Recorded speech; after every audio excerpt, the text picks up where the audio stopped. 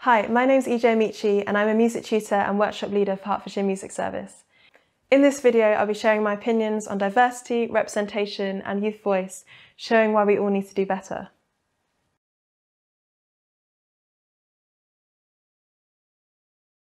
Diversity to me means looking around in my surroundings and seeing people from all different races, cultures, religions, genders, etc., and just generally seeing difference. It's not being surprised that I'm the only person of colour or woman in a room, or being surprised when another person of colour enters the room. It's the experience of thinking less about how I present to the world in that moment and feeling like I'm not the only one who's had that lived experience. Diversity can have a big impact on how you feel and think about who you are and how much someone like you is valued in society.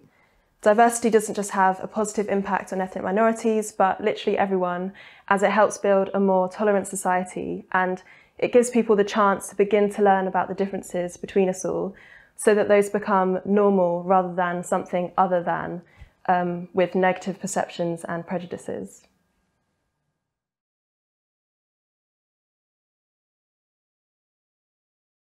Well, like diversity, representation is not just important, but vital to being comfortable with your identity and your sense of self in society. It gives you a deeper sense of belonging and plays a big role whilst growing up in teaching you that you're not alone and that there are people who look like you who have achieved what you can achieve. As a music tutor, I've been into schools with my afro hair out and had other black or mixed race children be excited and happy that someone has similar hair to them and is teaching them music. And I've had people say to me, wow, your hair looks like mine. So that obviously has a massive impact on those children, but also on me and reaffirms how important diversity and representation is, um, especially for young children.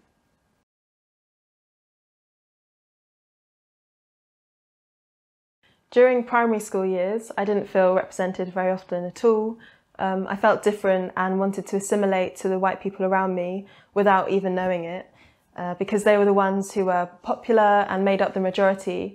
And as a child, it's easy to think if I were more like them, then I'd be more popular, more liked, um, less different, despite my parents always being um, positive about me being mixed race. Um, even things like they're making fun of my name, like my full name's Ijeoma, and they'd say like Ijeoma Lama, Ijeoma Lama. So just really small kind of microaggressions that, or about your hair or touching your hair, um, that makes you feel different kind of consistently. And other children see themselves represented everywhere all the time, from TV to music to film, um, parents, friends, children's books, literally the list is endless. And even the curriculum is whitewashed. We learn what the British curriculum was designed to teach us. We don't get the full picture of British his history, like the truths of colonialism and imperialism, and we don't learn about Black British history. So literally from early years in school, you're indirectly told that you're not important and your history is not as important as your white peers. And only now that I've grown up and I've been to university and educated myself on these issues, I've realised how much of an impact that would have had on me.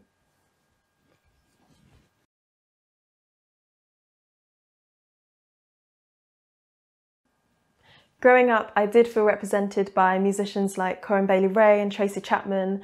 Um, they had similar hair to me, both play guitar and sing and songwrite, and showed me successful women in the music industry who looked like me. Um, then I found out about musicians like Fela Kuti and Fatoumata Diawara and began to connect more with West African musicians and that side of my heritage. And I fell in love with that music and was able to connect more um, to my culture in a way that I hadn't done before um, which then led me to studying music and development studies at SOAS, uh, School of Oriental and African Studies in London, where I learned more in depth about African roots within genres that I didn't even know about, like disco and rock. Um, again, which we don't get taught in school.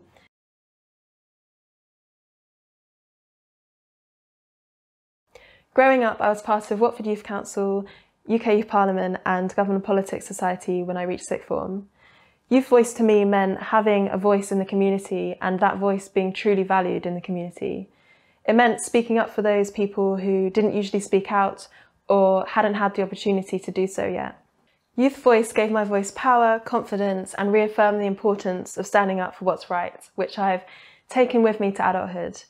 It helped me to think critically on issues that affect people in society, some that I had little knowledge of before, and it helped me to think outside the box and open my mind up to what other people experience um, and why there are these inequalities that affect people in different ways.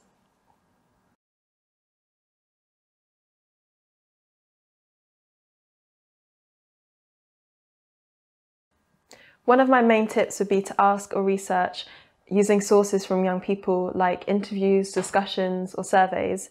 Ask what young people are listening to, what they're interested in, and which musical um, genres or cultures from around the world do they know little about. I think it's important not to assume or generalise so that you're properly catering to the young people you're providing the service to. As I've said before, the curriculum excludes a lot of history and does not truthfully teach black people's part in UK music history and around the world and how influential black culture has been. So I would look critically at what already exists in the curriculum and which holes need to be filled. I would also look at the demographic you're engaging with and why that might be. You need to look at the activities and projects you're running, who's running them, how accessible they are for certain young people, and how they're being advertised to reach those young people. If there are families of BAME background in your area who participate at a much lower rate, then you know it's something to do with your music service and not just because BAME people don't like music or want their children to be involved in musical activity. We need to continue to be more inclusive in our music services and try harder to increase diversity, representation and equality for our young people and within our workforce. Thank you for listening.